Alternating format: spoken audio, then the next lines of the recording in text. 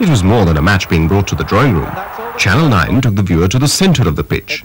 He was now witness to some privileged moments, watching the captains toss the coin, and that exclusive interview which gave him access to the game plan. Any reason for the change of tactics? Uh, no, I think that um, we didn't do so well um, chasing yesterday. Um, I thought, that, you know, with the weather being a little bit better, we can try something different. Greg Chappell, uh, the run of outs, has it uh, got you frustrated at all with your batting? I mean, have you ever felt like just walking out there and throwing the cue at everything? Yeah, I've thought about it, but uh, you know, you try and stick to the principles that you've uh, stuck with over 10 or 15 years, and they've worked pretty well in that time. Kerry Packer's contribution was not limited only to the razzle-dazzle of television coverage. His World Series players were better paid than cricketers had ever been at any time in the history of the game. And this monetary revolution was to have a dramatic impact on Test cricket as well. We were never paid very well, and um, we always had to depend on the benefit and things like that, or, or handouts for that matter.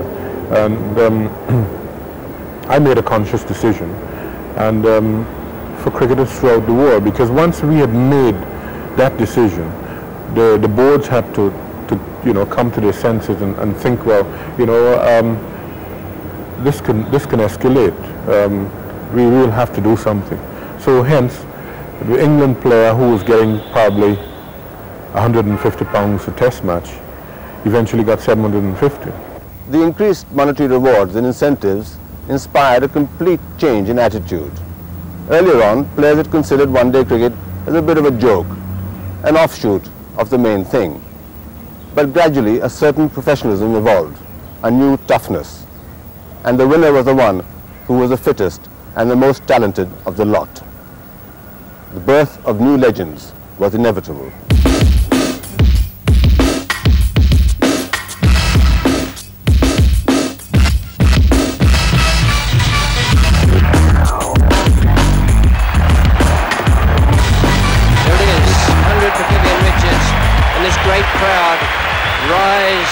To the master batsman.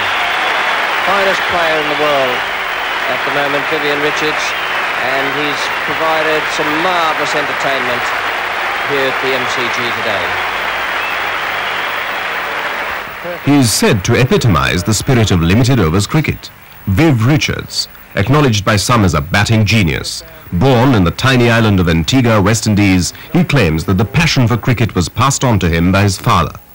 The start I, I personally feel, you know, that did benefit, benefit me was having a father, you know, who did play a lot of cricket for, for Antigua and also he played, you know, cricket for the Leeward Islands. And, you know, having such influential father, I think it did rub off. Some did rub off and he did come out outdoors door with us at times and help us to, to, to try and play certain strokes right.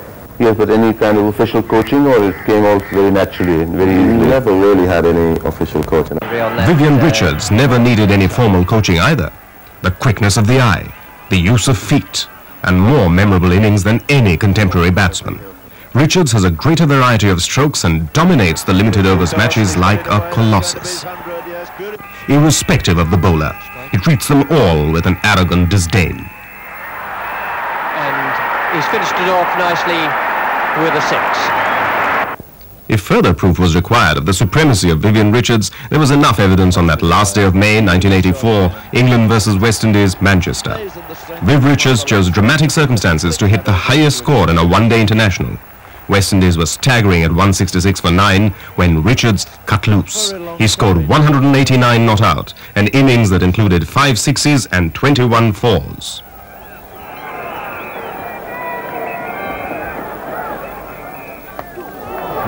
Shot again. Absolutely magnificent. Straight six this time.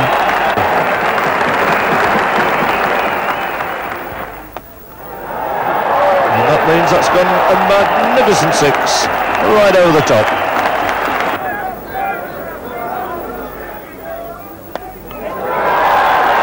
That's going to be the two all right. Is it going to be four? Yeah, it's just beaten uh, Fowler, racing round there. So there we are, hundreds down for the last wicket. 166 when they came together. It's moved on now to 268 with a ball left.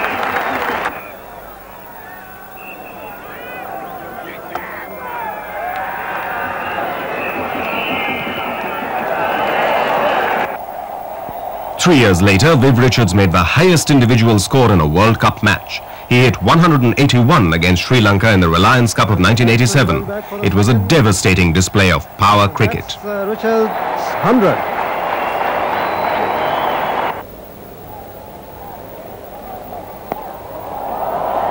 Where has that gone? Gone miles in the sky, six over long off.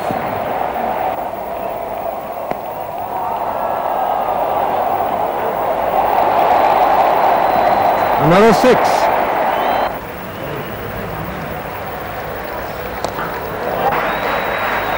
A tremendous straight six. Richard on 141. And then almost like a replay. It ended with a four. When the legendary tales of limited overs cricket are narrated, it is said they will largely revolve around the incredible achievements of Isaac Vivian Alexander Richards.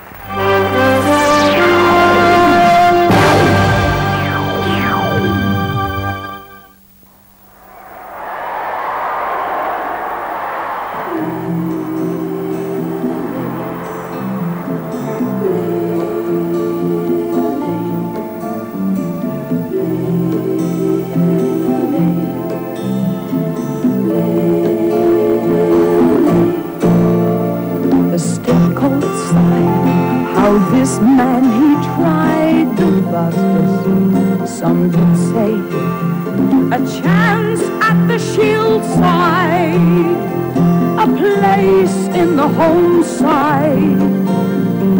Run, Dennis, run! His grandfather cried a spring-loaded arm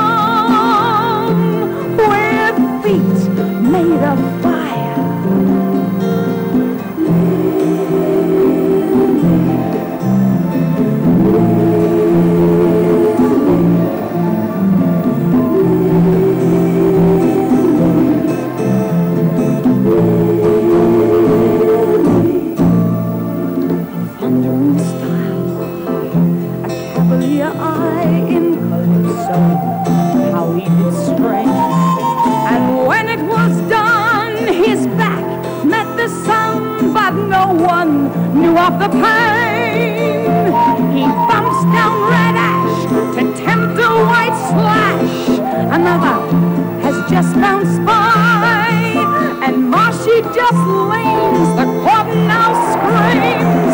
It's your turn to say He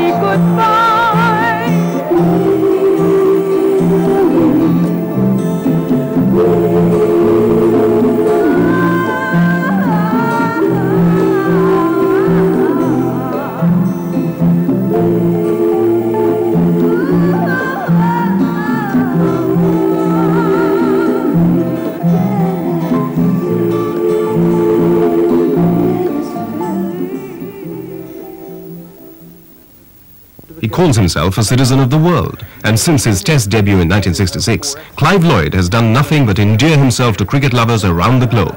He is doubtless most loved in his homeland, the West Indies, but in the last 20 years, Lloyd has built a huge following all over the world. Magnificent hook shot out of the ground. Superb shot there by Lloyd. The West Indian crowd on their feet. The West Indies' victory in the 1975 Prudential Cup final was shaped largely by the efforts of Clive Hubert Lloyd. His savage 102 against a powerful Australian attack was proof of his caliber as a superb batsman, a dangerous left-hander, a master of the one-day fixture. The crowd on their feet. And what a delightful exhibition this has been by Clive Lloyd. And for those who have followed his career, it was evident he had come a long way from humble beginnings in Georgetown, Guyana. I had an early sort of look at, at, at, at, cricket and, and cricketers and the way they behaved and you know that sort of thing. So um, it was inevitable that I would eventually play cricket because um, it was the only game that you know that was played quite regularly in the, um, in and around Georgetown. But Clive Lloyd's contribution was not just limited to his batting. He helped mould a West Indian team which dominated international cricket for almost a decade. A team which won the one-day Prudential World Cup twice in a row in 1975 and 1979. and this evening hoisted aloft the Prudential World Cup for the second time. it was nice, I think, to, to, to, to have been brought up and played my cricket, you know, with such a man, you know, that up to this day I've still got the, the highest regards and respect for. I, I still call him these days as well, the captain. Towards the end of his career, Clive Lloyd had become an elder statesman of international cricket. Not surprisingly, his last test appearance was the stage for an emotional farewell. And every man and every lady in this ground cheering him to the middle.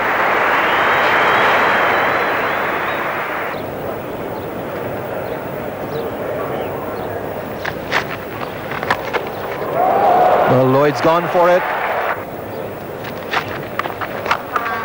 He's gone down the wicket and given that on a mighty slog. That's gone a long way.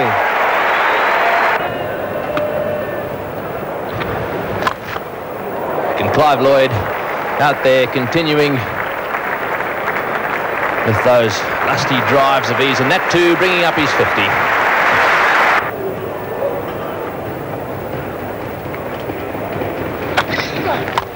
drives. By border cover, driving on the up. Clive Lloyd's last innings in the Sydney Cricket Ground comes to an end, but what a fine knock it was. 72, driving at young McDermott, didn't keep it down, and opposing skipper Allan Border took the catch. And the end of a great career for the West Indies captain. 7,515 runs in Test cricket 72 runs today for him. Be a lot of things flashing through his mind as he walks back to the pavilion for the very last time in Test cricket. Malcolm Marshall there just acknowledging not only the innings but the fine career coming to an end. Probably a tear or two in the eyes of the big cat at the moment. The Australians true sporting gesture there just acknowledging the end of a fine career. If one innings was needed as evidence of the incredible talent of Kapil Dev Nikanj, the former Indian captain, it was played on 18 June 1983 at Tunbridge Wells in England.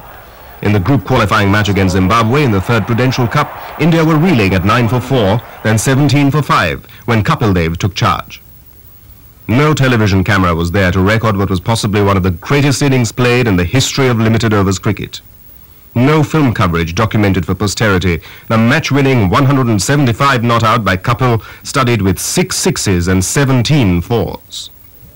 I walked in and I just uh, talked to myself. What were you talking to yourself about?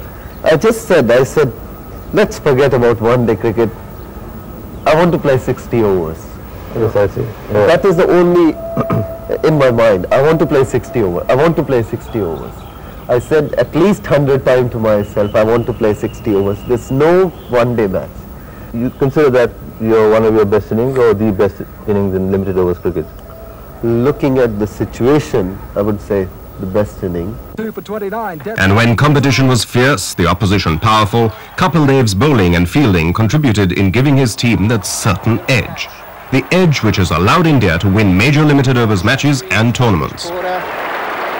Kapil Dev, the skipper, at square leg, has taken it with consummate ease. It was very, very firmly struck. The border is gone.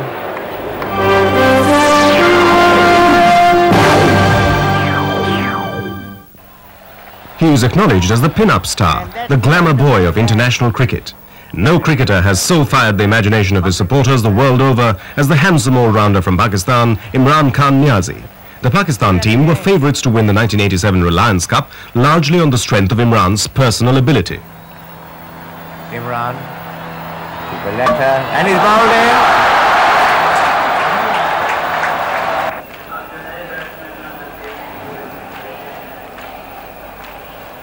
There it goes, under the bat. His devastating opening spells have terrorized the best batsmen, but the one performance that Imran Khan will cherish was against India in Sharjah in April 1985, rated as his best limited overs performance. It was a display of hostile pace bowling, and on a clear sunny morning, Imran struck like a thunderbolt. He dismissed six Indian batsmen for 14 runs in 10 overs. India collapsed to a shocking 125 all out. And there's the first delivery with the deafening roar of approval of this packed stadium. There's an appeal by LBW and he's out! The first ball and sensation here at the Sharjah cricket ground. Srikanth facing Imran. That's up in the air. He could be gone out and yes, he's gone.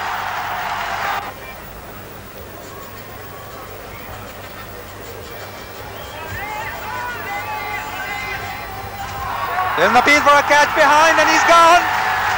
Imran has struck again. Vengsarkar got behind.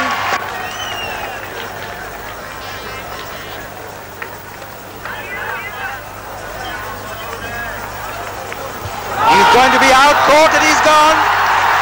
Imran has struck again. Gavaskar out caught behind, playing away from his body. 34 for 4, India. Imran to Amarnath. It's out. Fifth wicket gone. Amarnath bowled.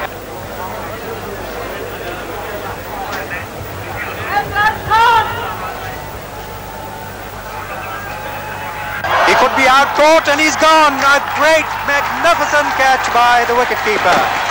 What a tremendous catch by Ashraf.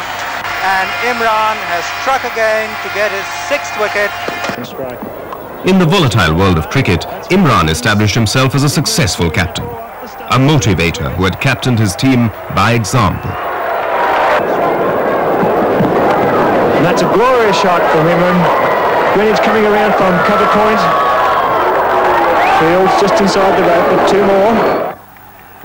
Pakistan won its first international tournament, the Australasia Cup, under his leadership in 1986.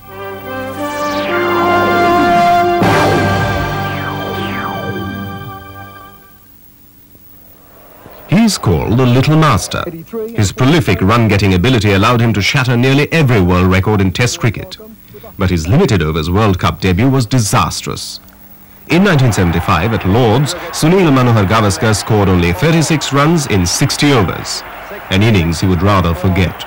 Well, at 36 was, as I said, the uh, the result of uh, me not really uh, getting mentally involved with uh, with the limited overs uh, cricket, and uh, later on, as I sort of you know became more relaxed with with the five-day version, in the sense that I was doing fairly well in the five-day five-day game, so I got uh, used to the idea of the one-day game uh, being around as well.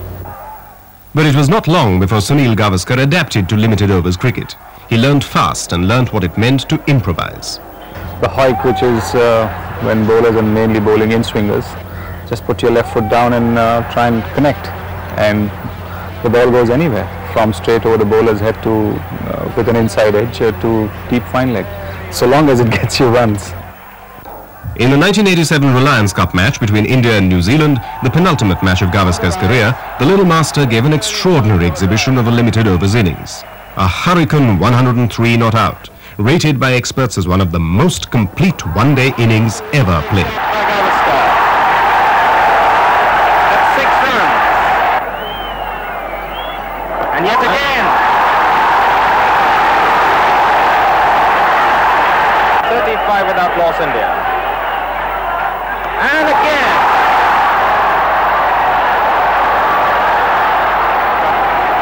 Yes, we're going berserk.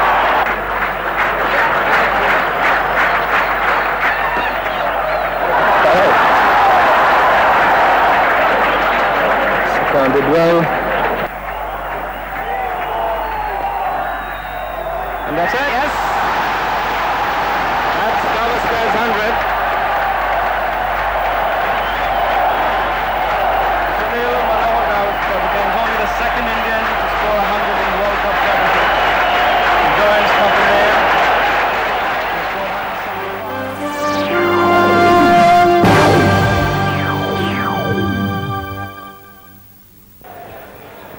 Batsman most likely to hit the first ball of a match for six is Krishnamachari Srikanth, the most hard-hitting opening batsman in the world today.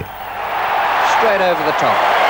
has been to bowl short to him. And, uh, well, I was going to say they made the mistake of pitching it up, but it wasn't. Uh, certainly wasn't a half volley. Batting crease. Despite the slow outfield, he stood his ground and said, man, that's four. and he was right.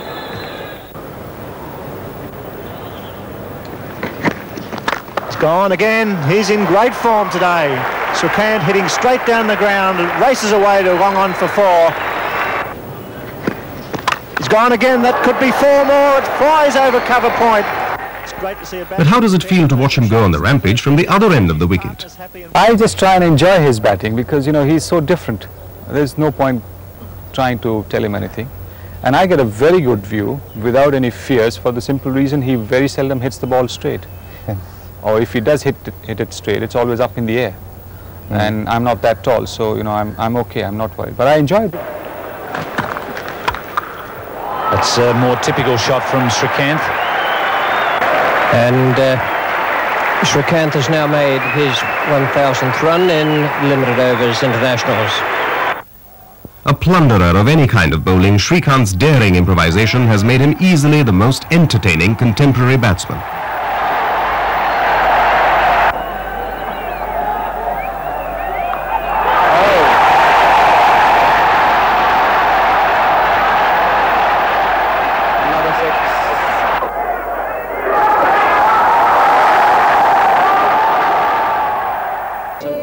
Drama of limited overs cricket has produced a new breed of cricketer, the superstar in a glamorized world of cricket entertainment. Legends whose deeds have enshrined them in cricket's Hall of Fame.